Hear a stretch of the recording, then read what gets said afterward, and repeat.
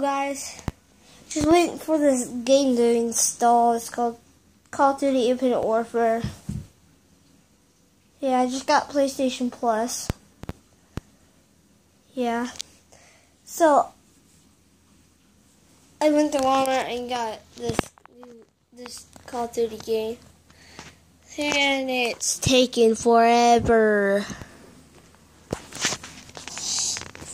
So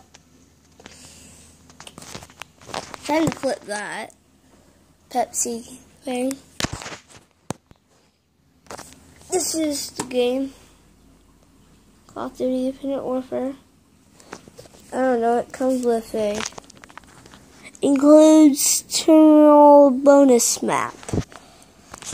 I never played this game. Saw people play it. So yeah, that's it. So see you guys and bye.